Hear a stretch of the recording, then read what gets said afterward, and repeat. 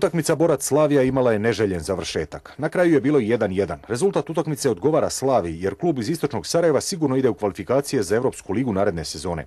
Neželjeno je to što se desilo na kraju kada je grupa navijača borca utrčala u teren i krenula da se obračunava sa sudijskom trojkom Pilav Trako Sučić koja se nije proslavila na ovom susretu.